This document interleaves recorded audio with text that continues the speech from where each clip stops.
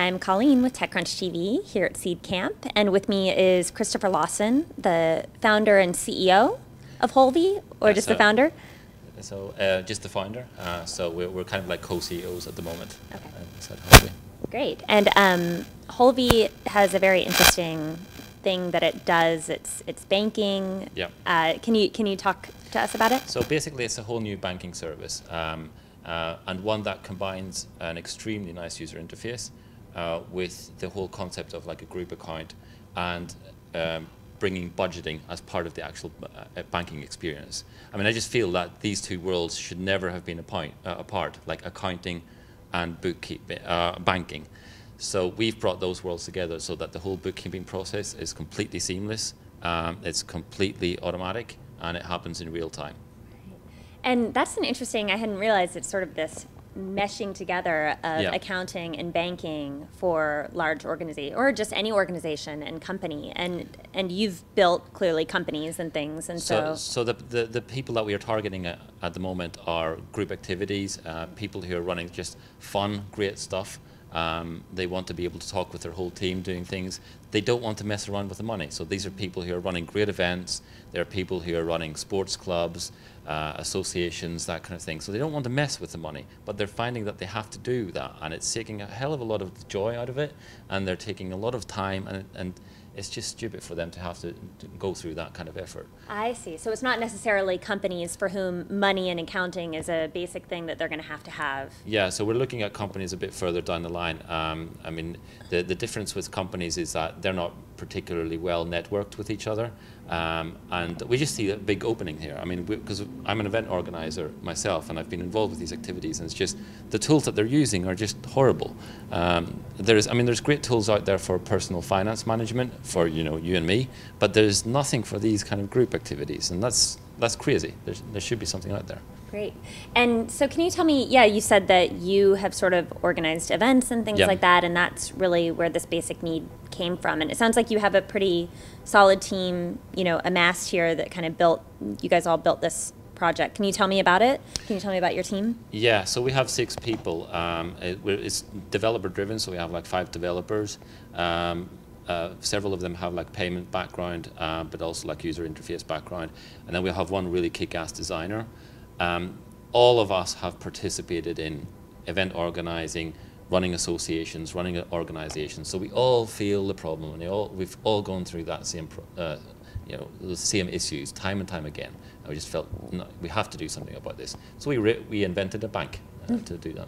And so, what are the sort of regulatory issues there with inventing a bank? I yeah. mean, that sounds so ambitious. Yeah, so we're regulated as uh, what is called the payments uh, payment server or a payment institution rather uh, inside the European Union, um, and um, that allows us to basically do a lot of the stuff that a bank would do. Uh, so hold money, uh, make payments in and out. Um, from the customer point of view, it looks like a bank. So they sign up to us and they get their account. Um, from a regulatory point of view, the, the main difference is that we can't take your money and lose it on the housing market. So that sounds like a plus.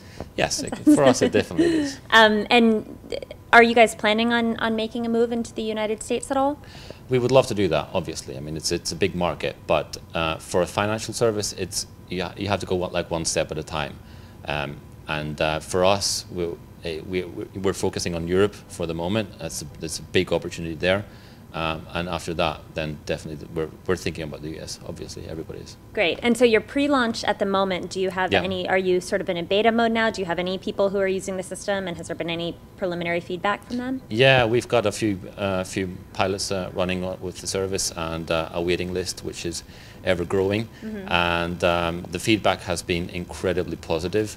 Uh, I mean, we've I don't know. We're not sales guys, so we go in and we show the product, and they're like, "Yeah, I want to buy it." like, when can I start using it? So we don't have to do anything. It's like, okay, cool, um, and uh, that that has been really really good. And um, so we're we kind of brought in the first sort of real pilots this January, and uh, we've now been making like sort of thousands of transactions uh, through the system, and we're making revenue out of that, and um, so things are looking pretty good. Nice. And so, what are you doing here at Seedcamp? What's sort of the objective of coming to this? Yeah, obviously for us it's a bit different than a lot of the other com companies because we're like Europe focused and Europe based. Um, but for me, I know that there are some great companies operating in a similar kind of space. I mean, BankSimple is a, is a cool example of, of a similar kind of stack that we have.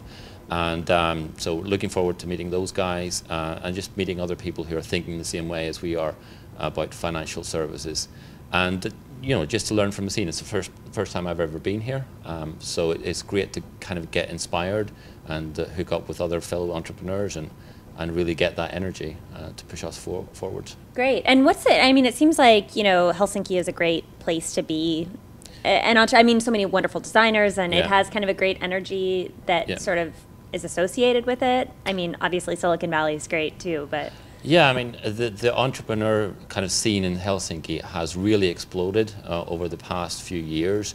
Uh, Helsinki and Finland have always been really, really strong with technology. Um, you know, a lot of great things, Linux, MySQL, all of these things come from, from uh, Finland. Uh, but what has happened now is that people are going beyond that and just creating companies, uh, fantastic new ideas, and there's a lot of energy going on uh, right now. Uh, so it is a it is a very interesting place to be, and because of the technology talent, I mean, you can get some of the best coders in the world uh, yeah. and start working on stuff. Great. Well, um, thank you so much, and, and best of luck. Thanks for talking to us. Thank you very much, and and uh, hopefully we can show you some of the product as well, because uh, it's really cool. Great.